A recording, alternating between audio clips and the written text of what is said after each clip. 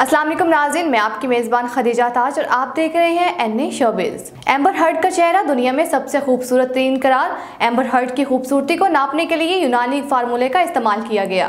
मशहूर हॉलीवुड अदाकारा अम्बर हर्ट का चेहरा साइंसी तौर पर दुनिया में सबसे खूबसूरत तरीन चेहरा करार दे दिया गया।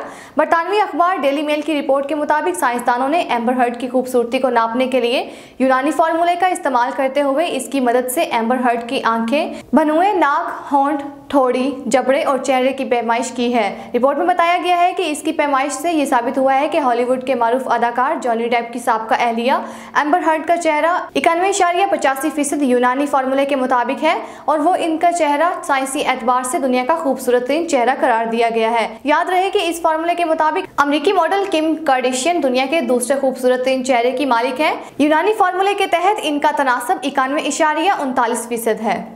मुल्क के मकबूल तरीन ड्रामे परिजात के मुसनफ हाशिम नदीम ने ड्रामा का सेकोइल बनाने का अंदिया दे दिया। मीडिया रिपोर्ट के मुताबिक निजी टीवी पर नशर किए गए ड्रामे परिजाद में अदाकार अहमद अली अकबर ने मरकजी किरदार निभाया, जिन्होंने इस किरदार के लिए अपनी जाहिरी शख्सियत को भी तब्दील किया।